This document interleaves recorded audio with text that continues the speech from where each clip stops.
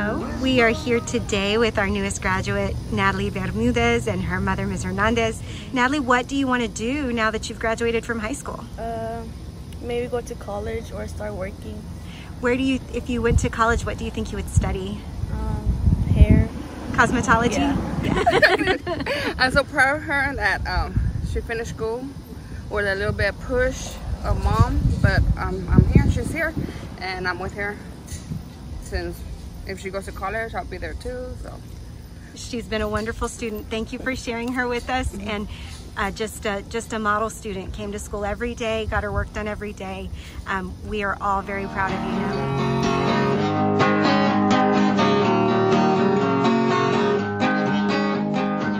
I'm here with uh, Crossroads newest graduate, Mr. Juvenal Esparza, uh, who we have truly enjoyed having here on campus. Just to try to get it done and finish it for nobody, anybody, nobody can say nothing to you.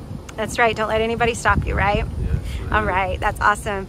And Juves, folks, what would you like to say to him today on the occasion of his graduation? that I'm very proud of him. That he, he, he made it after so many years. He's wearing his gown today, his He's- graduation gown. He's wearing his graduation mm-hmm. gown, and we love to see it. Anything you'd like to add? very proud of him that's the, that he, he made it. just uh, had to just put hard hard work and that's why he's here. That's right. He has definitely been a hard worker and full of heart, and we look forward to everything that Juve does in the future. Thank you.